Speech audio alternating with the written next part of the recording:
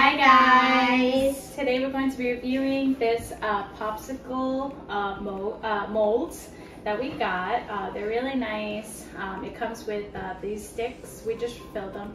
So now we're going to put them in the freezer. Um, but you can fill them with anything you like or it does come with uh, recipes in here. So that way you can put uh, but you can, like I said, fill with ever, oh, anything you want. And then it comes with these if you want to use uh, this, or it has a cover that you can put on top to use uh, the popsicle sticks. And then it comes Um, with little bags. Oh, and little bags And too. So when you're done, you can like, you know, put them in little bags and refreeze them and have them whenever you'd like. Um, it comes with a funnel for easy filling Comes with a and sponge to to clean it clean, you know, inside. to get all the uh, little things. So it's really nice. They made it. It's made out of um, uh, plastic, like, but it's uh, you know, it's not harmful for the kids and stuff.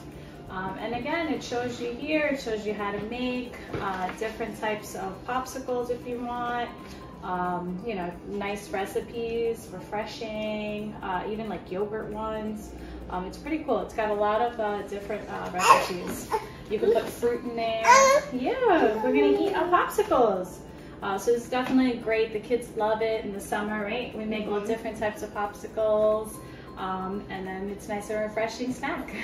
so we hope you enjoy. Bye. Bye.